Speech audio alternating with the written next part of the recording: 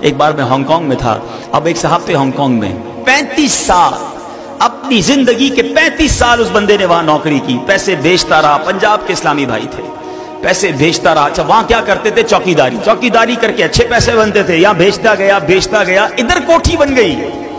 لیکن آ نہیں پائے، یہاں چوکی دار رکھا۔ اس کوٹھی پر چوکی دار خود ہانگ کانگ میں چوکی دار آخر کار گھر والوں نے کہا، ساری زندگی گزار لی، اب تو کوٹھی بھی بن گئی، اب تو آ جاؤ۔ اب اس نے سارے دوستوں کو جمع کیا، کہا میں نے بہت محنت کر لی، اب میرا گھر بھی بن گیا۔ Now my future is so bright I have to go میں تیار ہوں اب جانے کے لیے۔ فیئر ویل پارٹی ارینج کی گئی۔ رات پارٹی کے دوران ہی اسے ہارٹ اٹیک ہوا۔ اسی پارٹی کے دوران اس کا انتقال۔ ہوا جس فلائٹ میں اس کے سامان نے آنا تھا، اسی فلائٹ میں اس کی میت آئی۔ جس گھر کو پینتیس سال لگا کر بنایا تھا ایک رات اس گھر میں نہیں گزاری، وہی بندہ قبر میں چلا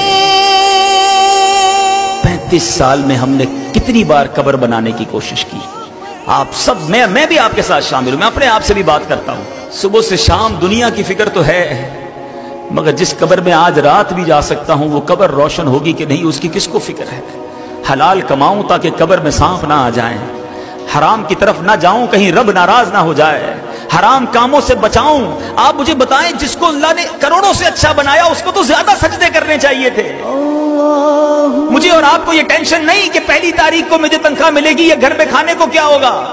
ہم لوگوں کو تنخواہ دینے والے ہیں۔ ارے اللہ نے جس کو اتنی فیسلٹیز دی ہیں اس کے تو سجدے زیادہ ہونے چاہیے تھے۔ اس کی تو عبادتیں اور شکر زیادہ ہونا چاہیے تھا۔ مگر ہم عجیب لوگ ہیں۔ وہ نعمتیں بڑھاتا ہے ہم نافرمانیاں بڑھاتے ہیں۔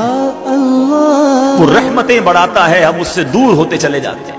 دنیا میں ہمیں کوئی اچھا گفٹ دے دے، کوئی ایک بار اچھا برتاؤ کر دے، ہم اس کے تھینکس فل ہو جاتے ہیں کہ نہیں جناب، یہ بندہ جو ہے میرے ساتھ کتنا اچھا اس نے برتاؤ کیا۔ اب میں اس کو کبھی ناراض نہیں کروں گا۔ دنیا میں تو ہم یہ ضرور کرتے ہیں، ہمارا کسٹمر اچھا آرڈر دے دے، ہمارا کسٹمر اچھی پرائز دے دیں ہم آلویز تھینکس فل ہو جاتے ہیں۔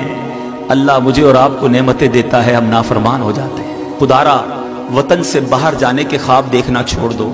اپنے وطن کی آدھی روٹی اپنے ماں باپ کے ساتھ اچھی ہے۔ باہر کی چار روٹیاں وطن سے دور رہ کر اچھی نہیں۔